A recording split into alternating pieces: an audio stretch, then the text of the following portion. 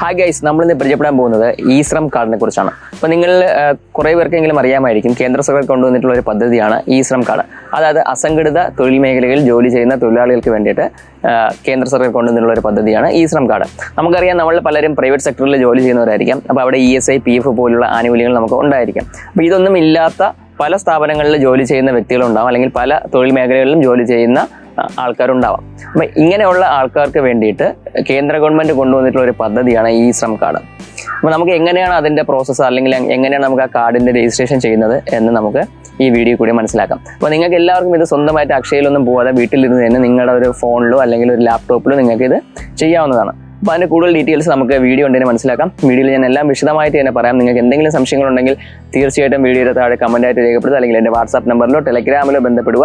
ഞാൻ തീർച്ചയായിട്ടും അതിനെ മറുപടി തരുന്നതാണ്. അപ്പോൾ നമുക്ക് വീഡിയോയിലേക്ക് പോവാം. Come on guys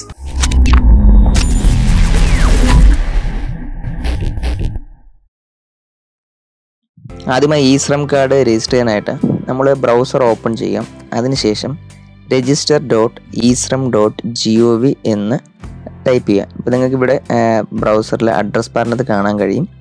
Register dot eShram dot G O V dot in അതിനുശേഷം നമ്മൾ എന്റർ കൊടുക്കുക. നിങ്ങൾക്കിത് മൊബൈലിൽ നിങ്ങൾക്കിത് ചെയ്യാവുന്നതാണ്.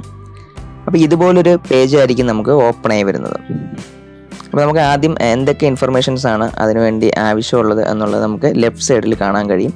Information record for registration Aadhaar number Aadhaar linked active mobile number bank account details അതുപോലെ നിങ്ങളുടെ ഏജ് പതിനാറിനും അൻപത്തൊൻപതിനും ഇടയ്ക്കായിരിക്കണം അപ്പോൾ ഇത്രയാണ് നമുക്ക് ഇതിന് ആവശ്യമുള്ള മാനദണ്ഡങ്ങൾ. അതുപോലെ നമുക്ക് രജിസ്ട്രേഷൻ ചെയ്യുമ്പോൾ നമുക്ക് ശ്രദ്ധിക്കേണ്ട കാര്യം എന്ന് പറഞ്ഞാൽ ഒന്ന് നമുക്ക് ഇ പി എഫ് ഒ നമ്മളതിനകത്ത് അംഗമാവാൻ പാടില്ല. അതുപോലെ employee state insurance corporation E S I C അപ്പോൾ ഇത് രണ്ടും നമുക്ക് ഉണ്ടെങ്കിൽ നമുക്ക് ഇത് രജിസ്റ്റർ ചെയ്യാൻ കഴിയില്ല. നിങ്ങൾക്ക് ജസ്റ്റ് ഞാൻ അത് എസ് കൊടുത്ത് കാണിച്ചു തരാം.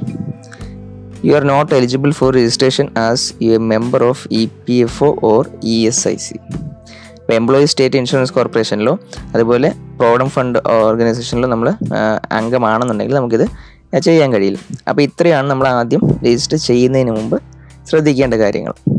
ഇനി നമുക്ക് രജിസ്ട്രേഷൻ ചെയ്യാൻ വേണ്ടിയിട്ട് ആദ്യമായിട്ട് ആധാർ ലിങ്ക്ഡ് മൊബൈൽ നമ്പർ.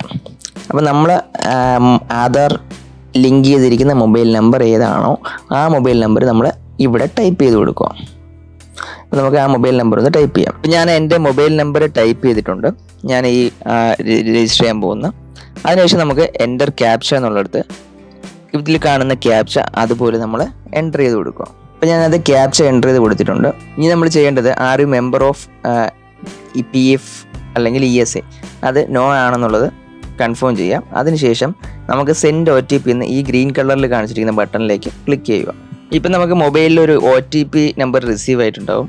ആ ഒ ടി പി നമ്പർ നമ്മൾ ഈ കോളത്തിൽ എന്റർ ചെയ്ത് കൊടുക്കും.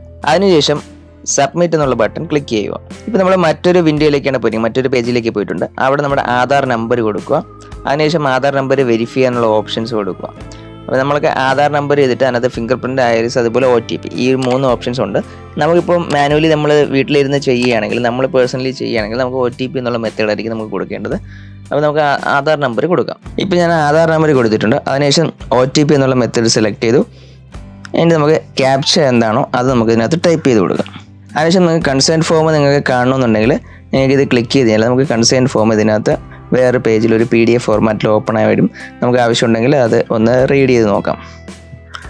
അതിനുശേഷം നമ്മൾ I agree to terms I agree to the terms on conditions of for registration under eShram portal എന്നുള്ളതിൽ ക്ലിക്ക് ചെയ്തതിന് ശേഷം സബ്മിറ്റ് എന്നുള്ള ബട്ടൺ ക്ലിക്ക് ചെയ്യുക.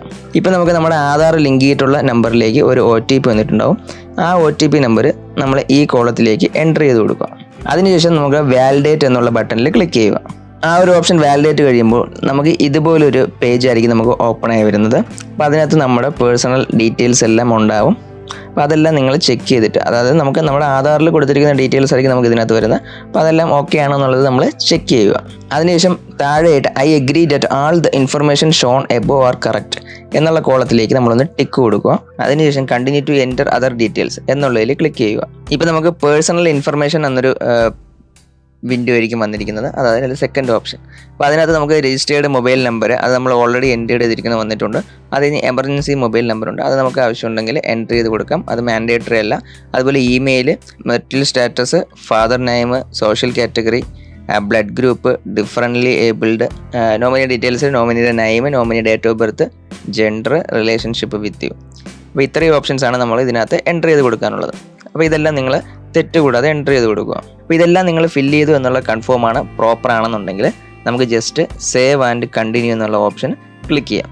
പിന്നെ നെക്സ്റ്റ് വേറൊരു പേജ് വന്നിട്ടുണ്ട്. അത് നമ്മുടെ അഡ്രസ്സും ഡീറ്റെയിൽസും ഒക്കെ കറക്റ്റായിട്ട് കൊടുക്കാനുള്ള ഒരു പേജാണ് ഇപ്പോൾ residential details home native state home native district അപ്പോൾ ഇതെല്ലാം മാൻഡേറ്ററി ആണ്. സ്റ്റേറ്റ് സ്പെസിഫൈഡ് ഐ ഡി അത് നമുക്ക് മാൻഡേറ്ററി അല്ല. അപ്പോൾ ഇതിനകത്ത് നമുക്ക് കാണാം ഒരു റെഡ് കളറിലൊരു സ്റ്റാർ വന്നിരിക്കുന്ന അതെല്ലാം നിങ്ങൾ ഫില്ല് ചെയ്യേണ്ട നിർബന്ധമായിട്ടും ഫില്ല് ചെയ്യേണ്ട കാര്യങ്ങളാണ്. അതുപോലെ കറണ്ട് അഡ്രസ്സ് പെർമനന്റ് അഡ്രസ്സ് അപ്പോൾ ഇത് രണ്ടും നമ്മൾ ഫില്ല് ചെയ്ത് കൊടുക്കണം. അപ്പോൾ ഇതെല്ലാം നമ്മൾ കറക്റ്റായിട്ട് ഫില്ല് ചെയ്തതിന് ശേഷം നമ്മൾ സേവ് ആൻഡ് കണ്ടിന്യൂ എന്നുള്ള ഓപ്ഷൻ കൊടുക്കുക. അപ്പോൾ അടുത്ത് വന്നിരിക്കുന്ന ഓപ്ഷൻ എന്ന് പറഞ്ഞാൽ നമ്മുടെ എഡ്യൂക്കേഷൻ ഡീറ്റെയിൽസ് ആണ്.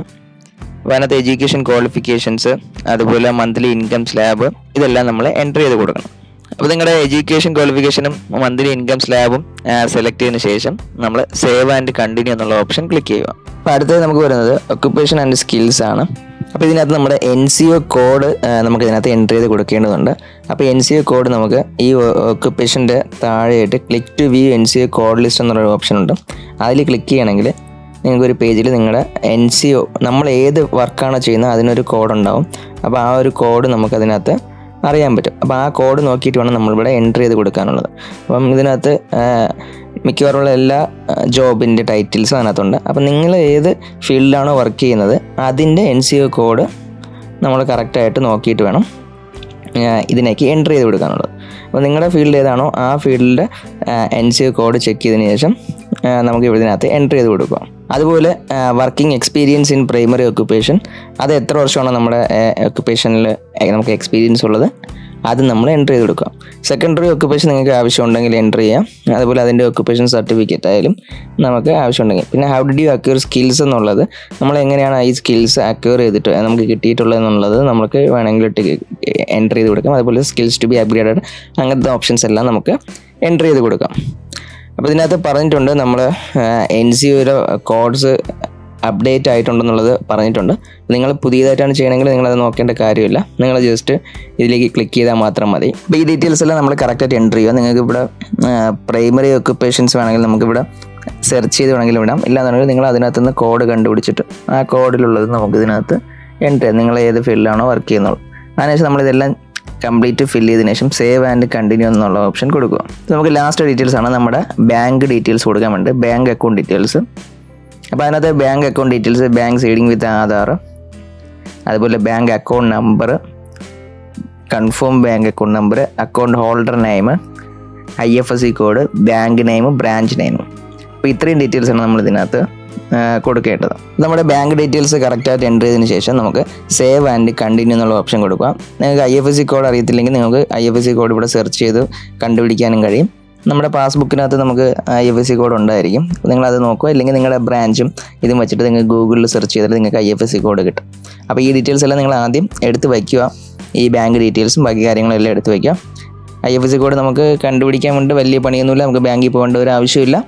നമുക്കത് കണ്ടുപിടിക്കാൻ പറ്റും. നിങ്ങൾക്ക് പാസ്ബുക്ക് ഉണ്ടെങ്കിൽ പാസ്ബുക്കിൽ ഒരു നയന്റി പെർസെന്റേജ് നിങ്ങളുടെ പാസ്ബുക്കിൽ തന്നെ അതുണ്ടാവും. അപ്പോൾ ഇതെല്ലാം കൊടുത്തതിന് ശേഷം സേവ് ആൻഡ് കണ്ടിന്യൂ എന്നുള്ള ഓപ്ഷൻ കൊടുക്കുക. അത് കൊടുത്തു കഴിയുമ്പോൾ നമുക്ക് ഇതുപോലെ preview preview bar self declaration എന്നുള്ളൊരു ഓപ്ഷൻ വരും. അതിനകത്ത് നമ്മുടെ name date of birth gender address അതുപോലെ നമ്മുടെ പേഴ്സണൽ ഡീറ്റെയിൽസ് കൊടുത്തത് നോമിനി ഡീറ്റെയിൽസ് കൊടുത്തത് അതുപോലെ address qualification and income details occupation detail bank account detail ഇതെല്ലാം നമുക്ക് ഈ ഒരു വിൻഡോയ്ക്കകത്ത് നമുക്ക് ഉണ്ടാവും. അപ്പോൾ ഇതെല്ലാം നമ്മൾ ഒന്നും കൂടെ കറക്റ്റ് ആണോ എന്നുള്ളത് നമ്മളൊന്ന് വെരിഫൈ ചെയ്യുക. എന്നിട്ട് അതിനകത്ത് ഡിക്ലറേഷനിൽ കൊടുത്തിട്ടുണ്ട്.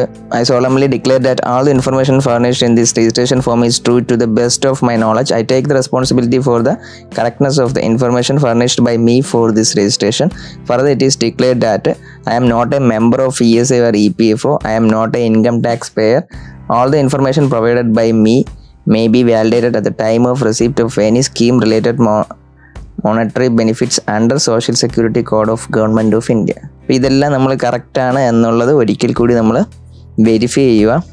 അതിനുശേഷം I undertake that I am neither a member of government services or public service or nor an income tax payer.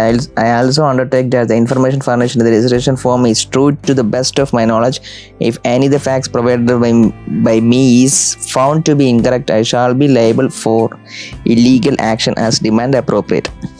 അപ്പോൾ ഇതെല്ലാം നമ്മൾ എഗ്രി ചെയ്തിട്ട് വേണം നമ്മൾ കൊടുക്കേണ്ടത് അപ്പോൾ നിങ്ങൾ ഇതിലൊന്ന് നിങ്ങൾ അംഗമല്ല നിങ്ങൾ ടാക്സ് പേ ചെയ്യുന്നില്ല എന്നുള്ള കാര്യങ്ങളൊക്കെ ഒന്നുകൂടി കൺഫേം ചെയ്യുക അങ്ങനെ ഉണ്ടെങ്കിൽ നിങ്ങൾ ഇത് രജിസ്റ്റർ ചെയ്യരുത് അപ്പോൾ ഇതൊക്കെ നമുക്ക് ടാക്സ് പേ ചെയ്യാത്തതും അല്ലെങ്കിൽ ഇ എസ് ഐയിലും പി എഫിലും അംഗമല്ലാത്തവർക്കും വേണ്ടിയിട്ടുള്ളതാണ്. നിങ്ങളത് ഒരിക്കൽ കൂടി കൺഫേം ചെയ്തിട്ട് വേണം നിങ്ങൾ സബ്മിറ്റ് കൊടുക്കാൻ. അപ്പോൾ ഇതെല്ലാം ഓക്കെ ആണെന്നുണ്ടെങ്കിൽ നമുക്കടുത്ത് സബ്മിറ്റ് എന്നുള്ള ബട്ടണിൽ ക്ലിക്ക് ചെയ്യാം. ഇത് സബ്മിറ്റ് കൊടുത്തു കഴിയുമ്പോൾ നമുക്ക് ഇതുപോലൊരു കാർഡ് നമുക്ക് ഇതിനകത്ത് ജനറേറ്റ് ആയിട്ട് വന്നിട്ടുണ്ടാവും. അപ്പോൾ ഇതാണ് നമ്മുടെ ഇ ശ്രം കാർഡ് ഇതിന് നിങ്ങൾക്ക് download U A N card എന്നുള്ളൊരു ഓപ്ഷൻ നമുക്ക് ഈ മുകൾ ഭാഗത്ത് കാണാൻ കഴിയും. അത് ക്ലിക്ക് ചെയ്താൽ നമുക്ക് ഈ കാർഡ് ഡൗൺലോഡ് ചെയ്യാം. നമുക്ക് അതിനെ പ്രിന്റ് അടിച്ചിട്ട് നമുക്ക് സേവ് ചെയ്യാം. നമ്മുടെ ഹെൽത്ത് കാർഡും ആധാർ കാർഡും ഒക്കെ നമുക്ക് പ്രിന്റ് അടിച്ച് വയ്ക്കുമ്പോൾ നമുക്ക് വേണമെങ്കിൽ ഇതിനെ പ്രിന്റ് അടിച്ച് വയ്ക്കാം. ഇല്ലെങ്കിൽ നിങ്ങൾക്ക് സോഫ്റ്റ് കോപ്പി നിങ്ങൾക്ക് സേവ് ചെയ്ത് വയ്ക്കാം. ആവശ്യം ഉണ്ടെന്നുണ്ടെങ്കിൽ മാത്രം നമുക്കതിനെ പ്രിന്റ് അടിച്ച് വയ്ക്കാം. അപ്പോൾ ഇത്രയാണ് ഇത് രജിസ്റ്റർ ചെയ്യാനുള്ള ഡീറ്റെയിൽസ് അപ്പോൾ ഇതിനകത്ത് ഞാൻ ഡീറ്റെയിൽ ആയിട്ട് ഞാൻ കാര്യങ്ങൾ പറഞ്ഞിട്ടുണ്ട് എന്ന് ഞാൻ വിശ്വസിക്കുന്നു. അപ്പോൾ ഇതിൽ എന്തെങ്കിലും ഡൗട്ട്സോ അല്ലെങ്കിൽ എന്തെങ്കിലും ചെയ്യുമ്പോഴത്തേക്ക് വേറെ എന്തെങ്കിലും എക്സ്ട്രാ കാര്യങ്ങൾ നിങ്ങൾക്ക് അറിയണമെന്നുണ്ടെങ്കിൽ നിങ്ങൾക്ക് തീർച്ചയായിട്ടും എന്നെ വാട്സാപ്പിലോ ടെലഗ്രാമിലോ കോൺടാക്ട് ചെയ്യാം. ഇല്ലെങ്കിൽ നിങ്ങൾക്ക് ഈ വീഡിയോയുടെ താഴെ കമന്റായിട്ട് രേഖപ്പെടുത്താം. എനിക്ക് അറിയാവുന്ന കാര്യങ്ങൾ മാക്സിമം സമയത്തിനുള്ളിൽ തന്നെ മാക്സിമം എത്രയും പെട്ടെന്ന് തന്നെ ഞാൻ നിങ്ങൾക്ക് അതിനുള്ള റിപ്ലൈ തരുന്നതായിരിക്കും. അതുപോലെ നമുക്ക് ഈ ശ്രം കാർഡിന്റെ ഹെൽപ്പ് ഡെസ്ക് നമ്പറാണ് one double four three four എന്നുള്ളത്. അപ്പോൾ അതിൽ വിളിച്ചിട്ട് നിങ്ങൾക്ക് അതിന്റെ ഡീറ്റെയിൽസ് നിങ്ങൾക്ക് അറിയാം. ഇതെല്ലാം ഓക്കെ ആണെന്നുണ്ടെങ്കിൽ നമ്മൾ കംപ്ലീറ്റ് രജിസ്ട്രേഷൻ എന്നുള്ളതിൽ ക്ലിക്ക് ചെയ്യുക. ഇപ്പോൾ നമ്മുടെ രജിസ്ട്രേഷൻ കംപ്ലീറ്റ് ആയിട്ടുണ്ട്. അപ്പോൾ ഇത്രയാണ് നമ്മൾ ഈ ശ്രം കാർഡ് രജിസ്റ്റർ ചെയ്യാനുള്ള ഓപ്ഷൻസ് ഇനി നിങ്ങൾക്ക് ഇതിനകത്ത് തിരിച്ച് കയറി എന്തെങ്കിലും ചെയ്യണമെന്നുണ്ടെങ്കിൽ അതായത് തിരിച്ച് എഡിറ്റിങ്ങോ അങ്ങനത്തെ കാര്യങ്ങൾ എന്തെങ്കിലും ആവശ്യമുണ്ടെങ്കിൽ ഓൾറെഡി രജിസ്റ്റേർഡ് എന്നുള്ളതിൽ ക്ലിക്ക് ചെയ്യുക. അതിനകത്ത് അപ്ഡേറ്റ് പ്രൊഫൈൽ കൊടുക്കുക. അപ്ഡേറ്റ് പ്രൊഫൈൽ കൊടുക്കുമ്പോൾ നിങ്ങളുടെ മൊബൈൽ നമ്പർ ചോദിക്കും. അവരിൽ മൊബൈൽ നമ്പർ എന്റർ ചെയ്യുക. ക്യാപ്ഷൻ എന്റർ ചെയ്യുക. സെൻഡ് ഒ ടി പി ചെയ്ത് നിങ്ങൾ വെരിഫൈ ചെയ്യുക. അതിനുശേഷം നമുക്ക് വീണ്ടും നമ്മൾ എന്റർ ചെയ്ത് കൊടുത്ത ഡീറ്റെയിൽസിനകത്ത് നമുക്ക് കയറാൻ കഴിയും. അപ്പോൾ ഇത്രയാണ് നമ്മൾ ഈ ശ്രം കാർഡ് ഡൗൺലോഡ് ചെയ്യാനും അതുപോലെ അതിനകത്ത് തിരിച്ച് നമ്മുടെ മൈ അക്കൗണ്ടിലേക്ക് കയറാനും ഉള്ള ഡീറ്റെയിൽസ് അപ്പോൾ നമുക്ക് മറ്റൊരു വീഡിയോയിൽ മറ്റൊരു വിഷയമായി കാണാം. അതുവരേക്കും ഗുഡ് ബൈ